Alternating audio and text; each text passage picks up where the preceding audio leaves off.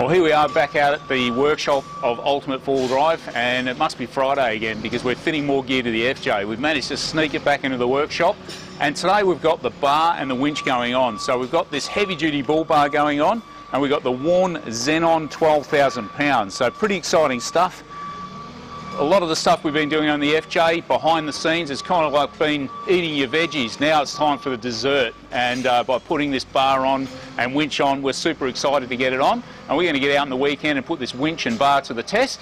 And um, looking forward to putting a whole lot more gear on the FJ. So stay tuned to the ultimate modified vehicle FJ.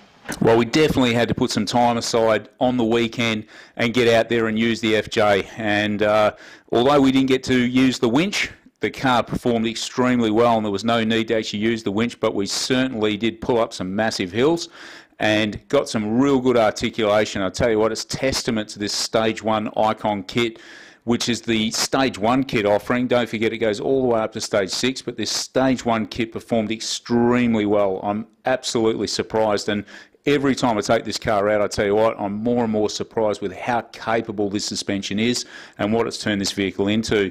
Being able to travel at speed over corrugation is just unbelievable, but the flex we're getting from this car and the control is just exceptional. It was able to climb up into some of the largest hills there and just doing it with ease, keeping the wheels on the ground and keeping control was absolutely what was all about. So, look, really excited. We're only at stage one with this kit, and we're going to go all the way to stage six.